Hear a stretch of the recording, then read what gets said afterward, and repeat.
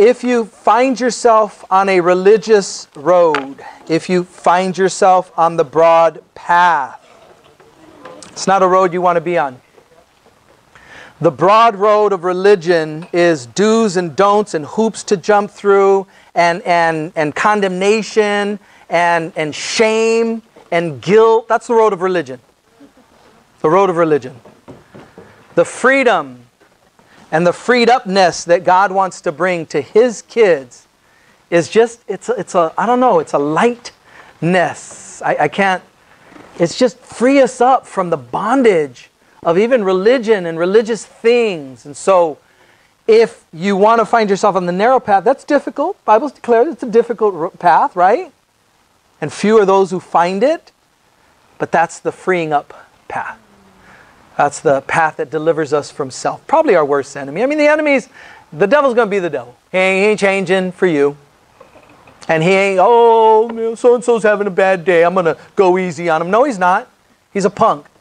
your worst day, he's right there in your face.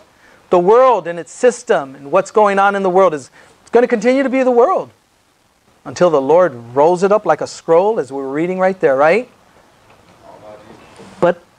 We're our worst enemy sometimes. Because we're either participating with the world or we're getting all this havoc from the enemy and the spiritual warfare, and we're not looking to the source, to the Lord. And so the narrow path that's difficult Let's trust that God is going to grow us up from the inside out. But we always need to be reminded of the single identifying mark, right? Walking in love. It's not hard to figure out. We know what love looks like. What do you like? How do you like people to treat you? How do you like people to speak to you?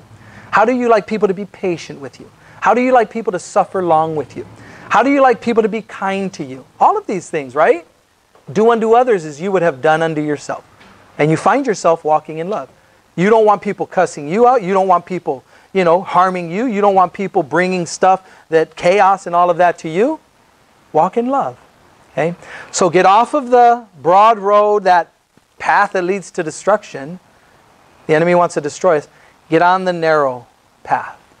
And you do that by opening up your heart. You do that by surrendering your life. You do that by acknowledging that Jesus died on the cross for you.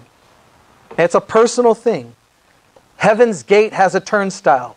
Kind of like Disneyland when it used to be open. All of the rides, one at a time, right? Can't squeeze two people in, turnstile. One at a time. No grandchildren in heaven. Your parents can't believe for you.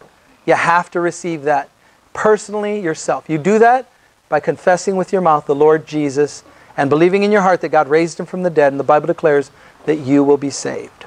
So, encourage you to do that. If you're not sure, come to me later. I'll pray with you.